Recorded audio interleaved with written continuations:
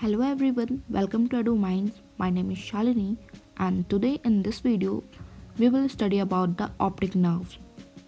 The optic nerve is second cranial nerve of sensory nature that transmit visual information from retina to the brain.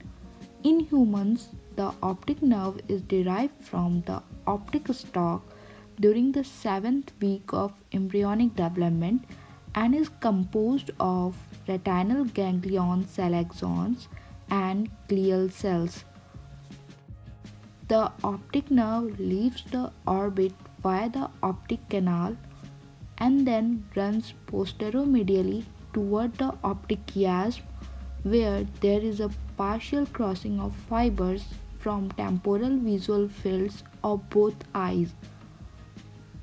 At the optic chiasm, Fiber from the nasal half of each retina cross over to the contralateral optic tract while fibers from the temporal halves remain ipsilateral.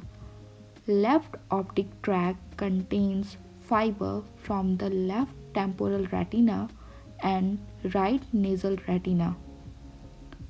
Right optic tract contain fibers from the right temporal retina and the left nasal retina. Each optic tract travels to its corresponding cerebral hemisphere to reach the lateral geniculate nucleus which is located in the thalamus.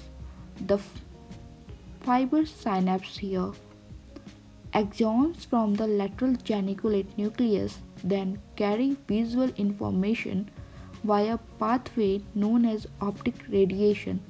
This pathway itself can be divided into two which are upper optic radiation and lower optic radiation. Upper optic radiation carry fibers from the superior retinal quadrants and it's corresponding to the inferior visual field quadrants. It travels through the parietal lobe to reach the visual cortex.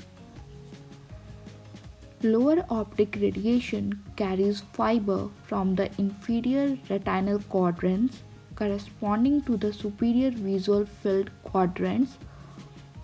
It travels through the temporal lobe via a pathway known as Meyers's loop to reach the visual cortex once at the visual cortex, the brain processes the sensory data and responds appropriately.